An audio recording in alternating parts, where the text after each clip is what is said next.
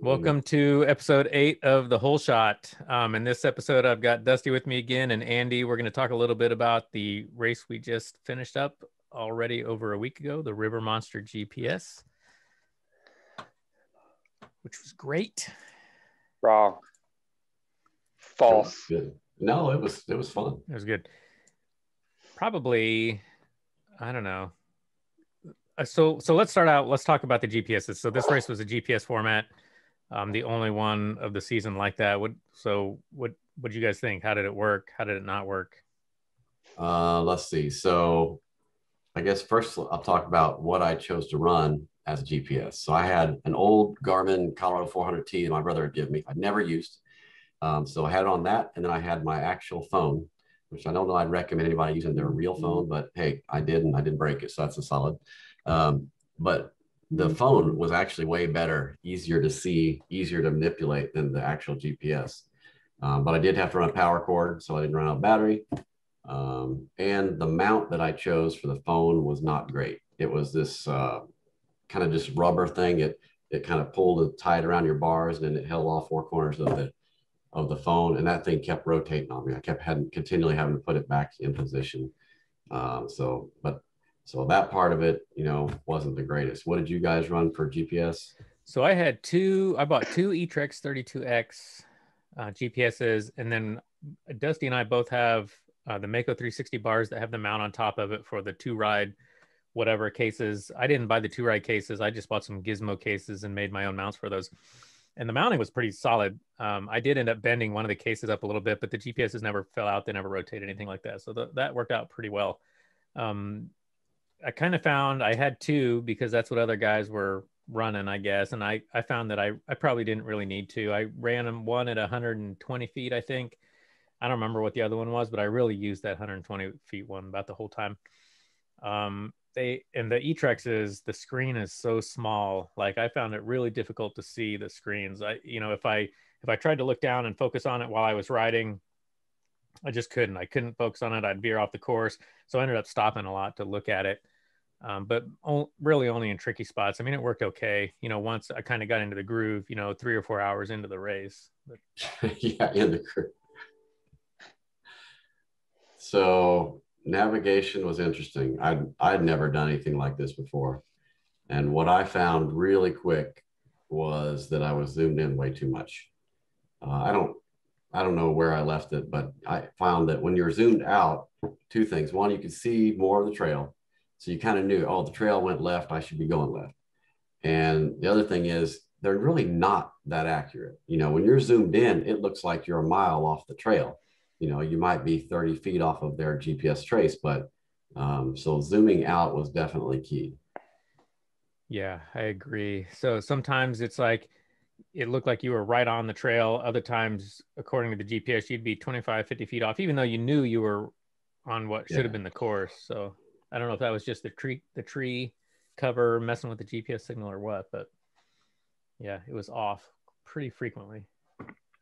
So yeah, right after, so right from the start, um, there was just this kind of this one loop before we doubled back to where the start was, and in that section, man, it looked like someone stepped on a spider and all the babies scattered. I mean, there was people going everywhere, and I know I was way off and trying to figure it out. Made several mistakes just in that first little loop till I figured out what the heck I was doing. It was bad. it started off po- really poorly really fast for me because you know when you when we started it was that single trail off camber and you kind of went all the way down Mhm. to the bottom of this uh where you almost you were supposed to almost go to the bottom of this hillside and then you cut right well Yeah. i cut left because i saw a bunch of bikes down in that that ravine down there so i cut left went down in there all these guys are trying to go up this rocky ravine like impossible like worse than anything that was actually in the course and i'm like holy shit so this is how it's going to be for this whole race um, but then finally figured out that that was completely wrong and had to go back up the hill and then got back on the path but Yeah, Yeah, so, so- Dusty, you started after me one or two spots or something. So, you know, 60 seconds or something maybe. Yeah. Then I was so lost in that first section that I caught up to you and, and you were already in front of me because we were so messed up. Yeah, there was like five or six of us. We all went the wrong way. Like there was tape. and you were supposed to dive down the hill right before a section of tape, but there was tape there, so you're just like, oh, it keeps going straight, and you thought it went straight and then ducked back down, but instead it turned left to around the hill, and me and another guy went that way. And there was another guy up above the hill above us. Like I, there was four or five people, and finally, I, I we realized that you had to duck down this little, almost like game trail. It was a really tight little small section of single trail, and you could barely see it. But yeah, there was a bunch of us back in there. We were all just jumbled up trying to figure it out. So random start, and you know, we drew, I don't know, number 84 or 85, somewhere in there. Uh, I was and I would say starting at the back, it, it's not it, it's not good for bottlenecks, but it is good because the trail's more burnt in by the time you get there. Yeah, I was 50. I think I was exactly 50 or right around there. But yeah, there were guys everywhere. I mean, everywhere along the course, people off the course, going your direction, going against the your direction. Oh, yeah. I mean, You're just everywhere. Yeah. Yeah. So it was a little chaotic in spots. Um, yeah, some places it was confusing because there, there's a lot of trails out at this place. This what was it called? Cairo Kairos, Resort. Kairos. It's an OHV park, so there's a lot of uh, pre-existing trails out there, and so you couldn't tell sometimes you're on the course. It's like, should I be going up this really rough, rocky creek bed, or should I be on the Jeep road right next to it, or on the trail right next to that? So it was, I think there was a lot of flexibility there about where you were riding or where you should be riding. So yeah, that was interesting. Um, I'd do it again. It was kind of like the night riding thing. Like I think you got to go out and do it once and kind of get your feet wet and figure out how the thing works. And then I think the second, third times, I think it would be a little bit easier and, and funner. Yeah, it would have been easier to actually pre-run something following a track and dialing stuff in instead of yeah. I was literally I was still working fixing my GPSs as Gary was like, "Oh, you're go, you're late." Yep. Yeah. And I'm like, I, I, don't care, whatever. I'm just, I literally, I was like 10 or 15 seconds off the line because I was still trying to mess with my GPSs. So, yeah. Well, that's yeah, what we were saying, right? We were going to be the guy that, you know, when he says, go, just rip off into the woods, yeah. like turn bad out of hell, you know, because, you know, it matters for an eight hour race. Yeah. Yeah. There was, yeah, there was some tricky stuff about the GPSs. And so, like, I only used it twice before the race. One time I used it out at Saddleback just to kind of see how it you know what the train looked like and how it looked and stuff. I wasn't trying to follow a, a route or anything. And then I did use it to follow a route, um, but on my bicycle, kind of around the neighborhood and stuff where I live. So at least I figured out a couple things. Like I think one thing that caught you up was if you touch that little joystick on um, the eTrex while you're riding, it freezes the map, and you got to know you got to hit the back button to go back to where it you know shows you following the route. So little things like that, you know. Little things. Little things. Okay. Like, that's probably no pretty. so this is the part uh, where I kind of share some of the the map information, I guess, or the routes that we took. So Andy created this cool mm-hmm. overlay of of the route and put his track on there and my track on there. We don't have Dusty's because he's afraid to share it with us. Um, but yeah, I mean, what what I saw was, oh, there we go. Yeah, cool. Yeah. So on this uh, so I'm the orange, and Kevin is the purple, and the blue was the trace that they sent us. Mm-hmm. So just in this this first loop, this section right here, you can see I would, you know, here's the start. And immediately I'm going the wrong way, doubling back, doubling back here, trying to figure it out. You can see we both made a mistake here. And then finally, you know, we get finally got up to this ravine and we kind of got on track. But yeah, it was it was crazy during the during that first section. Yeah, you can see several spots where you go off. I mean, I don't know how far that is. Uh... Yeah, you can see right here the gold orange color. That's me, right? So it's like I, I totally missed that. And I went a, a decent ways there and realized, no, you know, I'm off. Went back, and you know that was just a single track hill climb that I had missed there. Yeah. And so came back, hit it, you know. So what I kept doing was like, I think I'm on the course. I think I'm on the course, and then I get to the base of a hill and so then I hit it and I'm riding up this thing. And when you're climbing a steep hill, you can't look at the GPS. And then you get to the top of it where you can finally look down at it and you're like, ah, oh, crap, I'm so far off. I got to turn around and figure out where I got off the course. Yeah. Yeah. Like you can see over here, there's an area where you made a loop that was off. you Yeah. know? Yeah. You probably went up something, had to come back down it, you know? Yeah. Yeah. Yeah. How, I mean, how, what was it like for you, Dusty? You, was it pretty easy to follow? Uh, yeah. I mean, other than the obvious. that creek run, that creek run I did at the end though, that was pretty fun. Yeah. So Yeah. we, I didn't so- have too many. I, I honestly didn't have any problems with the. I've got really great, really, really great eyesight, like 20, almost 2010 vision. Sometimes, some days, 2010 vision. So seeing the screen didn't bother me at all, and looking down at it didn't bother me at all. Um, but yeah, I didn't have any problems as far as the actual navigation part. The the error was in the operating part. right. All Yeah. right, so we, we gotta we gotta let's let's get the elephant out of the room here. Let's let's let's see the trace. Can I, can I, I have Can you his, show it? share it? I sent him a screenshot of it.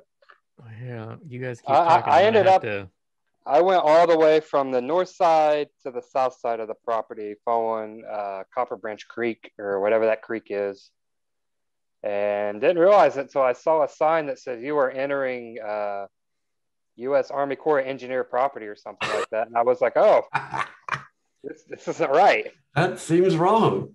Yeah, and so I, I I I passed you guys, and they're like, no, you need to go this way, and I was like, nah, my GPS says that way.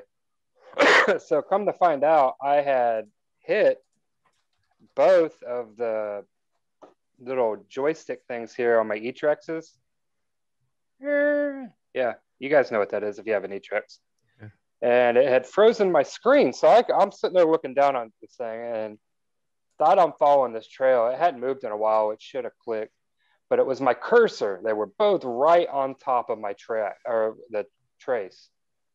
So they're not moving, but I'm moving, and I'm like, all right, you know, there should be a right here or right sometime. I just kept going and going and going. I ended up like two and two, two and a half miles off course.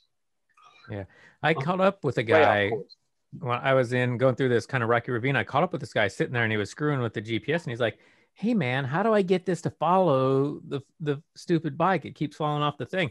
And that's exactly what you did. I'm like, you got to go up here, you got to hit the back button, and then it'll put you back in the set, kind of the center of the screen there. But yeah, if you don't know that, Yeah, I didn't realize it until it was too late. And by the time I saw their sign, I was like, oh man, this is wrong. Yeah, I knew something was up because so you go through that first 15 mile section or whatever, and you get to the pit stop, and that's right. That's where I stopped. I was so exhausted. Maybe we'll get to that in a little while. But I I left there. I went back to the truck, and then here I see Dusty riding up from the complete opposite direction I finished. of the fuel stop. yeah. yeah. Yeah, that was it. Was uh, the, the the positive of the GPS was it got me out. Like once I figured out, I figured out how to get back to where I needed to go. Because there was a spot where it was, I, I I rode around a bunch of down trees. Uh, I'm sure the Kairos guys they know exactly what I'm talking about. And I, I rode over it. It was off camera and it just dropped straight down. I got down that, but then when I went to go back around it, there was no grip, no traction. I was like, I can't get up this. So I had to like literally use my GPS and just kind of eyeball where I'm going by using the actual map to try and find my way back. So I was ripping up and down a bunch of gravel roads trying to find find spots. And uh, yeah, and then my bike died right as I got back to where I should have been. Come to find out, for some odd reason, my bike was leaking some fuel, Hmm. or I was burning a bunch of fuel, and I was pretty much out of gas. Yeah, I don't know where you got off. I mean, right here somewhere in this mess of tracks. Yeah. Right. Yeah, that's not not good. Yeah. All right, so so what did you guys think of the terrain as far as difficulty, comparing it to other races, things like that? Other, I'll say other SEER races. Let's go with that.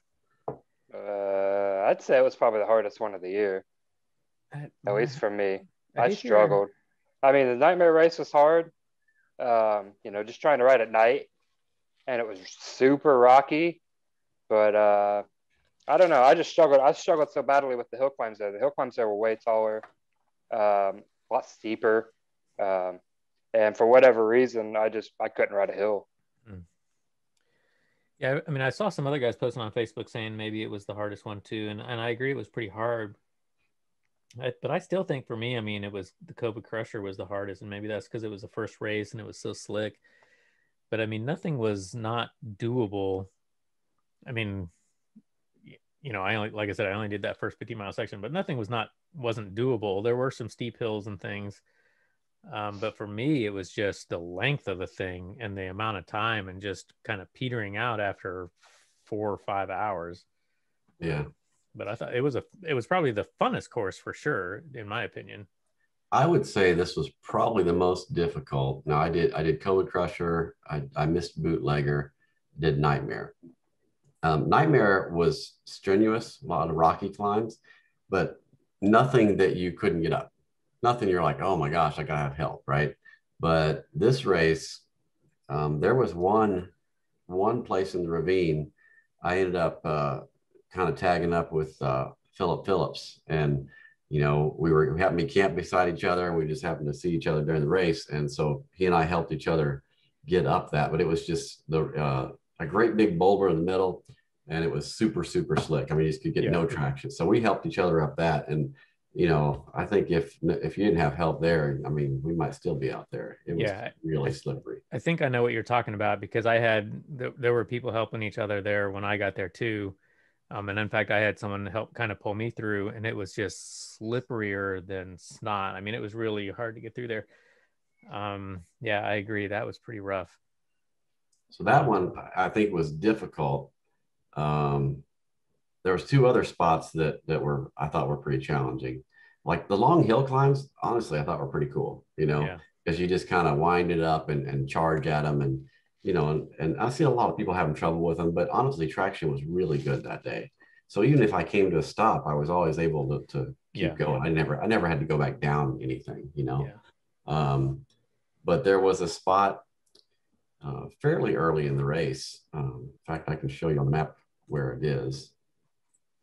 So this little section right here, we got there and you can see, you know, all this trying to figure out what we're going to do we, we rode there and we all said, we looked up and we saw this trail going up a really, really steep section right here. We thought, no, no, there's no way. I mean, it's like practically vertical. There's no way they want us to go up that. And so we rode over here and we're like, nope, nope, GPS says we're supposed to go up this. So, so we hit it. Um, and I did make it on my own, but it was so steep and there was like kind of a rock section right at the top that really kicked you funny. So, I mean, I kind of charged up it and the bike the bike made it to the top. I wasn't on it at the time, but the bike made it up. Yeah. And so I was able to crawl back up there and pick the bike up and go from there. I didn't have to hit it again, but it was that was pretty tricky. It was, yeah, it, was wasn't very steep. long, but man, it was a steep one. Yep. Yeah, I sat there for a long time. You can see where I went. I sat there for a long time and bikes were just crashing on there and a lot of people weren't making it up. And finally you can see I, you know, a bunch of guys ended up not doing that, and I. oh yeah, I saw a lot of guys their bike come tumbling down. That that was it was kind of risky. Yeah. And then the other place that that I did really poorly was way over here. In fact, it's right right about the time my uh, watch stopped recording. But this big mess looks like we both had trouble here. This was dry, powdery, super off camber. Oh, and I got, I didn't have enough speed going through there, and my bike ended up falling over, and there would up be four. There was four guys there, and we we towed each other across that dumb thing. That was really strenuous. That was uh, awful. That and that's right in the spot where I died. I mean, like, I don't know how far that was in. It was what three, four hours or something. Yeah, I mean, you're you're most of the way. This was the what we yeah. show here is 15 miles. I just, you're most of the way through it. So. Yeah, I ran out of energy in that spot. Like I, I, I slid down that off camber stuff, and I had no energy. I don't know if it was heat exhaustion. I feel like maybe I had some heat exhaustion going because I just my I had zero energy at that point. I couldn't push the bike. I couldn't ride the bike. I had some guys help me uh, get out of that section, and then I went up a little way. And this backdrop I'm using for the video or for the the podcast here like I just stopped. I laid down. I had a peanut butter sandwich in my backpack. I sat there and I drank some water and I ate this sandwich and I rested there for probably 20 or 30 minutes just trying to get some energy back. And finally I did, but man, that is the spot where I just died. It was Yeah, that was really tricky. I mean, I did see a couple guys make it through it on their own, but I saw a lot of guys drop the bike there and have to help each other. So Yeah. that was definitely tricky. I, I need to get better at that, you know. Now, if it had been wet, Oh, this would have been a different race Yeah. Oh, because those hill climbs, if they would have been slick and snotty, it would have been a lot more difficult. Yep. Yeah, for sure. Um, any other tricky spots? I think those were it for me. That slick ravine, the off camber stuff. Um, there was that one crazy long uphill, which was actually pretty fun. I mean, it just went and went and Oh, went yeah. and went. Um, but yeah, those are probably the two trickiest spots for me. All right, what else? How so you know, I didn't take this one super serious. I'm not chasing the points or anything. Yeah. And I you talked about did you take breaks? So I, I took a quite a bit of breaks after I um you know, because I didn't want to get to like in, in nightmare, I totally crapped out. I, I, you know, my heart rate hit a couple hundred and I was just gone after that. I couldn't do anything. So I didn't want to do that again. Um, yeah, so I took enough breaks to keep my keep my composure. Um, I think I still hit a fairly high heart rate at times, but it wasn't too bad. And um, and then when I after oh oh we forgot about one tricky spot. The worst spot on the whole track What was that? was the crazy downhill. oh yeah. Yeah. So so this is later in the race, and you just you there was a you started a new single track section, and, and right there there was a sign, and the sign says, you know, bikes only steep or something like that. Like, okay, Yeah, I got walk, it. You know, walk, walk it or something. well, like no, that. it didn't say that right at the start of it. See, so then you go on down this for a little ways, and then right before you, you're already off camber, and you're going downhill, and you have to turn 90 degrees left, Mhm. and it gets ridiculously steep. And there was another sign right there. I totally whiffed that sign because I was so focused on I'm going to get my body position right, and I'm going to do this hill. You know, well, that sign actually said, you know, danger steep, and then underneath it, in kind of small writing, it says "Get off the bike." Yeah, maybe that's. Yeah, I it's- missed. I kind of missed that. So I take off down the hill. Everything's going great. Um, you know, modulating my brakes, everything the way I want, except and and I wasn't going super fast, but you know, you're accelerating because it's quite steep. But then like the bottom like 20, 30 feet of it was just thick mud and there was Hmm, Yeah. no chance, man. And so I I I low sided down there and um, wasn't too bad. So then I yell at my buddy. I'm like, hey, you know, you can get off the bike and walk it. So he's cool. So he's safe. So while he's walking down, another guy comes and you, he must not have seen the sign either because this guy comes around the corner and he's like up on the front wheel, like going, oh, yeah, you know, and and so he lets off the front so he doesn't go endo, but then the, the whole bike and him kind of tumble down the Oh, hill. man. Uh, so that one was pretty bad. And then before we got out of there, um, I didn't capture this guy on video, but another guy, we look back and he's coming like wide open, like, and all he's saying is F, F, F, F, F, F, F. And bam, man, he, he hit a, a big boulder. I mean, something hit loud Hmm. and uh, he actually thought he might have broke his leg, but we saw him later and he was all right. So, but yeah, he was going way too fast. So I'm sure anybody that didn't um, see the sign to get off the bike, I bet a lot of people went down there. Yeah. So I, I guess I lucked out there because I, I got there, I saw the sign, it said walk it down, but I looked at the hill and it looked dry. It didn't look that bad. I'm like, I'm going to try it. I made it about 10 feet and then it turned soft and the, the front wheel just knifed. The bike went down and, and so I, then I'm, I'm off the bike. I kill it. And then this guy is down at the bottom of that thing yelling up going, you have to walk it down. And I'm like, I saw it. I just didn't believe it.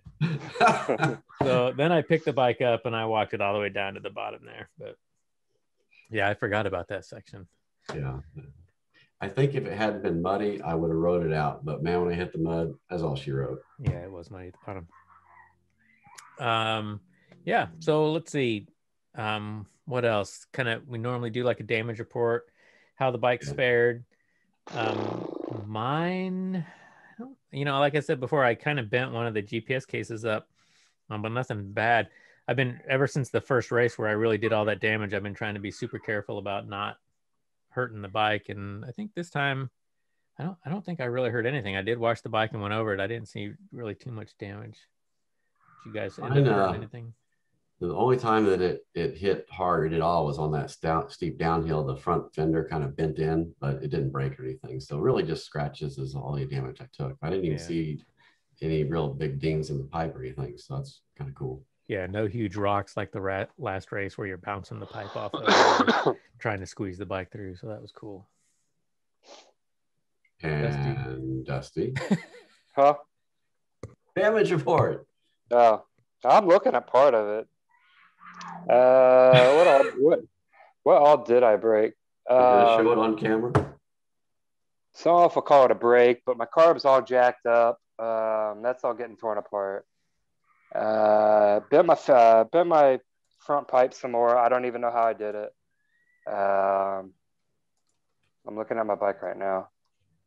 Other than that, I think the other the only other thing I, I really broke was this bad boy right here. right where the bait on betas, they have a little clip in uh, for the release.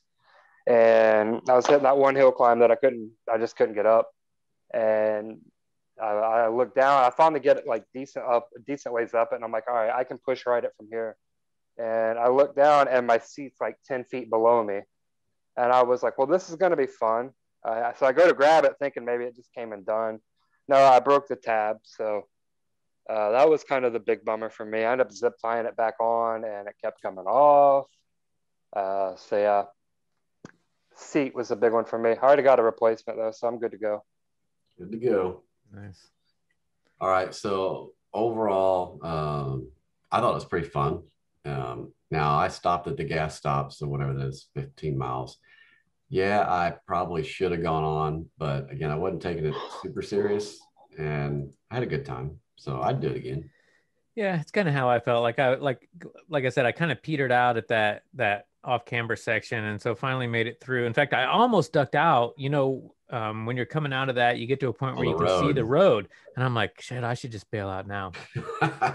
and then I didn't. I'm like, no, I'll just keep going. It's got to be pretty close. Luckily, because right after that, it just kind of turns into this. I mean, it's Yeah. not super flowy, but just single track all the way to yeah, it was almost like a it was an established XC trail, you know. yeah, right, like an XC trail. Easy. But um, yeah, I don't know, man. I kind of wish I would have kept on going. I just didn't know what was after that. I'm like, do I, you know, do I want to? Someone said like, okay, but if you go past this, there's like really no no bailout. Like you got to do the whole thing. I'm like, I, I just don't know that I can do it. I'm so petered out. So, but yeah, it was it was to, it was really fun. Probably the funnest one I think of the year, course wise. Yeah, Um, I think so. yeah. I would definitely go back there and just ride for fun. Oh yeah, I would too. That's what I was thinking too. I mean, instead of going out to Hatfield or something, you could go out there because there's some really great stuff out there. Yeah, I mean it's it's only three hours from my house, so it's it's closer than where we go into Hatfield. So Yeah, yeah, cool place. Definitely would go there again.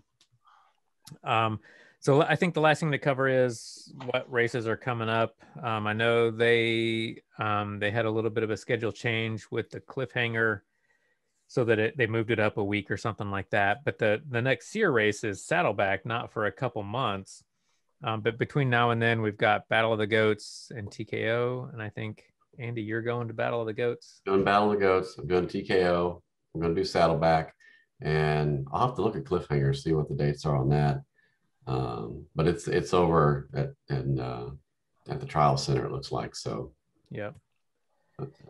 Yeah, we'll all we'll be at Cliffhanger TKO. I know Dusty and I. We've got several people that are going to TKO with us this year. At least three or four other people, right? You guys need to come and do Battle of the Goats, man. Yeah, I It's think Not so. going totally to different. Battle of the Goats, man. It's too far and it's too hard. Oh hard. no, you're just making excuses. Uh, you know, the only thing about I've really seen from Battle of the Goats is that ridiculous enduro section. Oh, the infield? That Right. wasn't the hard part. Well, it looked like you had to double the tires or you didn't have to go all Ryan Sipes on it or anything. he was the only one that did that. Yeah, it's crazy. I would like to go. I was hoping to send my suspension off to get it done between these two SEER races, and I kind of forgot about TKO. So I probably won't end up doing that until the winter. All Yeah. right. Anything else coming up? I think that's it. Some local races going on, IXCRs and stuff as usual. We'll do a couple of those, but I think that's it. All right. You guys good? We're all good. That's a wrap. time. Yeah. Well, next one will be Andy's BOTG recap, and then after that, TKO. All right. Sounds good. Good. A wrap.